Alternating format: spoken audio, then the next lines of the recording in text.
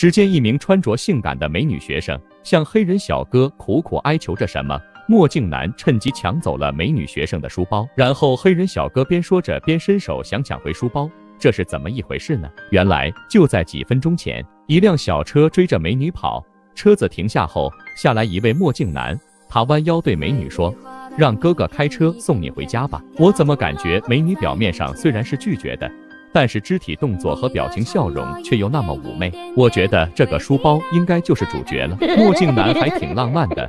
他打开车门，拿出了一朵美丽的鲜花，送给了美女学生。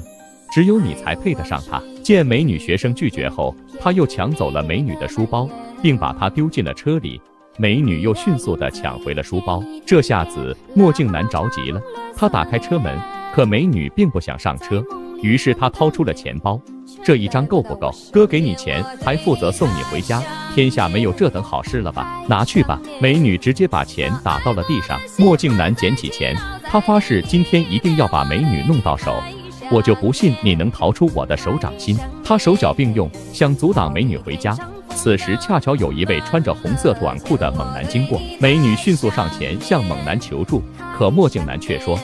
她是我的女朋友，我们正在吵架，不关你的事。墨镜男一直指着车门叫美女上车，美女还是拒绝。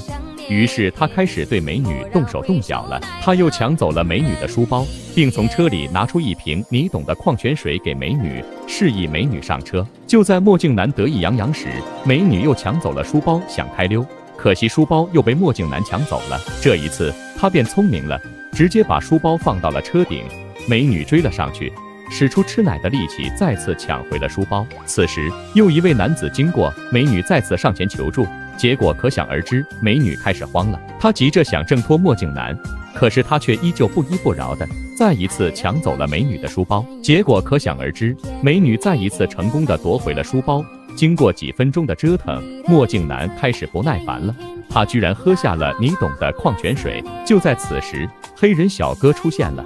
美女看见了希望的曙光，都是黑人，你可不能见死不救啊！尽管黑人小哥很想帮助美女学生，可还是被墨镜男以情侣吵架为由，叫他少管闲事，让他赶紧滚蛋。黑人小哥一脸懵圈地质问美女：“你真的是他女朋友吗？”美女极力否认。墨镜男此时彻底发怒了：“叫你滚蛋，没听到吗？想打架吗？我可是练过中国功夫的。”我和女朋友吵架，你凭什么要插手？然后黑人小哥被吓退了。美女学生见状，鼓起了勇气，跑上前抢回书包。就在墨镜男打开车门的一瞬间，美女趁机逃跑了。六六六，你觉得墨镜男这次能抢到书包吗？欢迎留言探讨，记得点赞关注。